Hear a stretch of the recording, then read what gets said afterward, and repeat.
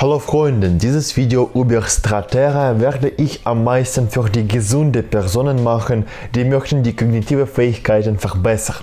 Außerdem behandelt der Wirkstoff ADHS sehr gut, also falls Sie möchten über Stratera im Kontext der medizinischen Anwendung wissen, wird dieses Video auch nützlich.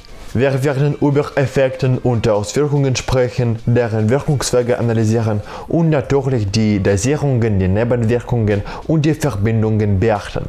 Stellen Sie sofort Like, wir beginnen. Der Kniff des Wirkstoffs ist die erhöhte Sekretion von Noradrenalin. Der gleiche Botenstoff funktioniert im Kopf als auch im ganzen Körper. Bevor wir die Effekte analysieren, stellen Sie sich die Situation vor wenn sie von einem Hund gelaufen haben oder mit einem gefährlichen Jeep im Aufzug gefahren müssen. Nach diesem Moment klopft das Herz wie ein Boombox und sind sie extrem konzentriert. Biologisch bedingt bringt unser Körper uns in dieser Zustand, um mehr Chancen in stressiger Situationen zu haben. Der Grund dafür ist Noradrenalin, der kann extrem schnell in weniger Sekunden freigesetzt werden. Daraus folgt der erste Effekt, der erhöhte Acetylcholinwerte. Satera hemmt selektiv die Wiederaufnahme von Noradrenalin aus dem synaptischen Spalt. Der Wirkmechanismus basiert sich in Synapsen. Und wenn die Rede über Noradrenalin bedingte Konzentration geht, dann sind die Auswirkungen sehr stark. Beim Lernen oder anstrengender Arbeit ist der Wirkstoff die beste Möglichkeit, hochkonzentriert zu sein. Was besonders vorteilhaft, dass die Auswirkungen nicht vom Wirkstoff, sondern vom körperlichen Noradrenalin verursacht werden. Der erste Vorteil betrifft nicht nur Satera, sondern auch zum Beispiel DMAA und Ritalin. Wie diese drei Nootropics verbunden sind, werde ich weiter erzählen. Diese Studie zeigt die Erhöhung des Noradrenalinwertes auf 370%. Nicht schwach, oder? An dieser Grafik habe ich eine interessante Sache bemerkt. Die Mache der Effekte unterscheidet sich nicht, wenn man zum Beispiel 20 mg oder 80 mg einnimmt. Der Unterschied ist nur in der Länge der Auswirkungen zu bemerken, aber nicht so stark. Natürlich, die pharmazeutische Industrie möchte Ihnen immer mehr verkaufen. Kaufen Sie 50 mg Stratera? Nein, 80 mg? Nein, Triple Redact Version von Stratera mit 500 mg. Die letzte Aussage ist witzig, aber den allgemeinen Sinn klar ist, glaube ich. Also fließend gehen wir zu Dosierungen und die Standarddosierung ist 20 mg, die beim Bedarf bis zu 80 mg erhöht werden kann. Ein wichtiger Moment ist, dass oft sogar 20 mg sehr stark wirken aus, besonders wenn wir über den Frauen oder über den gesunden Menschen im Allgemeinen sprechen. Also bitte beilen Sie sich nicht, die Dosierung zu erhöhen. 10 mg oder 5 mg können auch gut funktionieren. Aus diesem Effekt folgt die Behandlung von ADHS und das ist verdammt logisch, weil bei der Aufmerksamkeitsdefizit und Hyperaktivitätsstörung die Konzentration fehlt aber in diesem Fall werden noch die Dosierungen von 20 mg funktionieren. Für die Behandlung sind die Effekte ausreichend. Übrigens können Sie in jeder Quelle die positive Erfahrungsberichte finden. Am meisten sprechen die Patienten mit ADHS über Stratera wie über einen Game Changer, der ihr Leben verändert hat. Auf diese Frage kann der zweite Effekt antworten. Das ist die erhöhte Sekretion von Dopamin, der Freude-Neurotransmitter. Für Menschen mit ADHS bedeutet dieser Fakt die zweiseitige Behandlung. Für die gesunden Biohackers ist das erhöhte Motivationsgefühl in der Verbindung mit der Stressresistenz. Außerdem wirken Dopamin und Noradrenalin synergetisch aus, also die Effekte in einer Verbindung werden besser als geteilt. In diesem Zusammenhang ist heutiger Wirkstoff für die Produktivität, weil dafür man vereinfacht die Motivation, die Konzentration und die Stressresistenz braucht. Diese Studie berichtet darüber, aber ein Problem existiert. Dopamin wird nicht so signifikant erhöht, also hat man zwei Möglichkeiten. Erstens, Stratera in hoher Dosierung zu einnehmen und zweitens, Stratera mit zum Beispiel L-Dopa zu verbinden. In diesem Fall wird Dopamin aus L-Dopa synthetisiert und 20 mg Stratera wird ausreichend. Der dritte Effekt spielt die wichtigste Rolle für uns und das ist die kognitive Verbesserung. Strattera hat die zweiseitige stimulierende Auswirkungen, die vom Noradrenalin kommen und selbst der Wirkstoff stimuliert. Noch dadurch kann die Intelligenz entwickelt werden, aber auch gibt die Erhöhung des Serotoninwertes. In dieser Studie waren drei Gruppen von Ratten. Die erste Gruppe hat Satera in normaler Dosierung beginnt, die zweite hat ein anderer Serotonin-Inhibitor bekommen und die dritte Gruppe ist Placebo. Und die erste Stratera-Gruppe hat die besten Ergebnisse gezeigt und was besonders interessant, am effektivsten.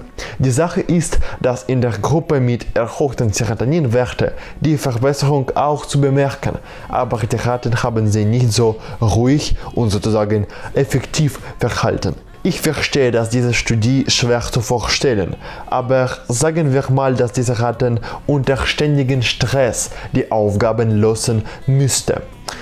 Dieses Stress braucht die Energie zu kämpfen, also die Ratten mit Satera viel leichter kämpfen können. Der vierte Wirkung ist unerwartet, mag ich sagen, aber klar für meine Abonnenten.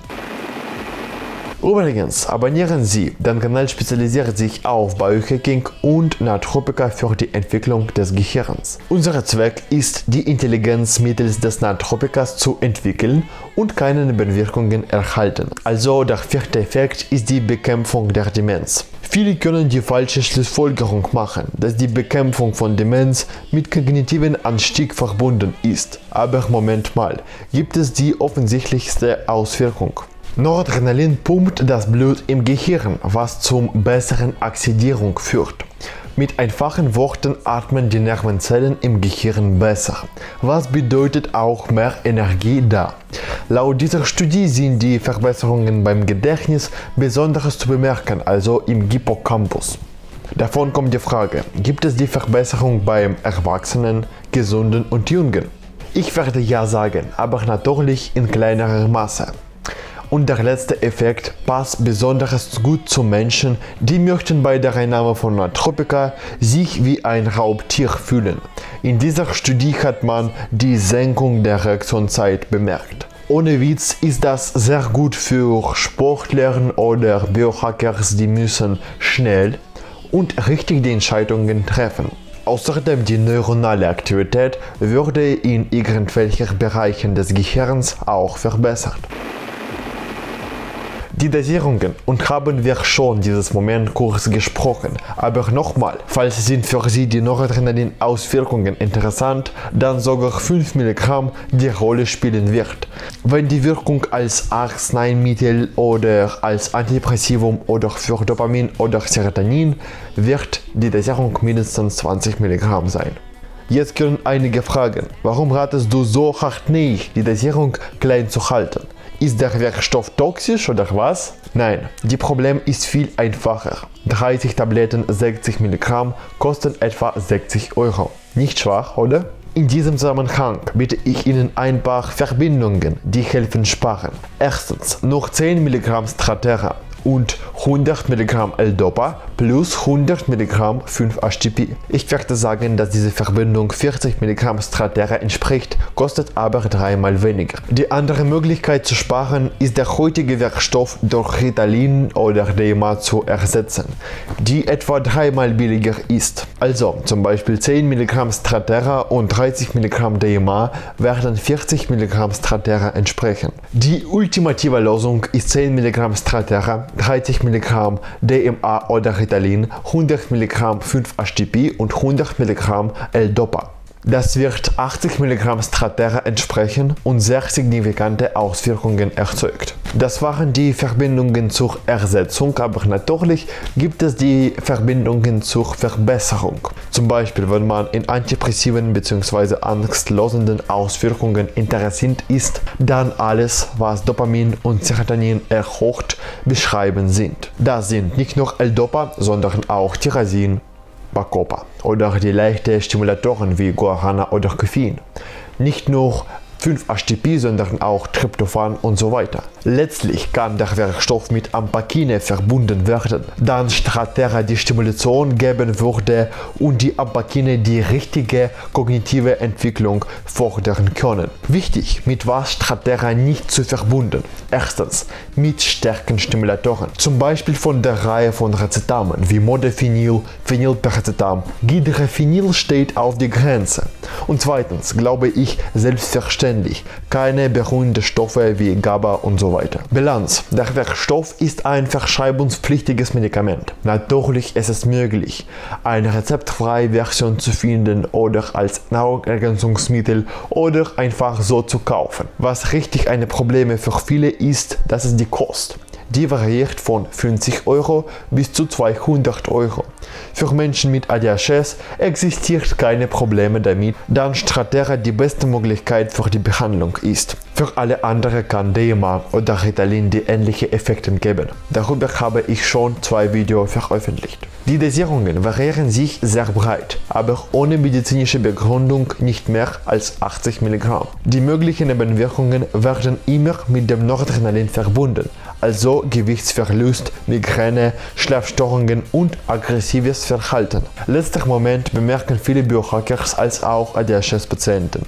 Also rate ich die Dosierung signifikant zu verkleinern oder sehr nett sein die Auswirkungen nach der ersten Einnahme zu bemerken. Dann mache ich Schluss. Abonnieren Sie die Lichte. Der Kanal spezialisiert sich auf Biohacking und Natropika für die Entwicklung der Intelligenz. Danke fürs Zuschauen, stellen Sie Like und bis bald.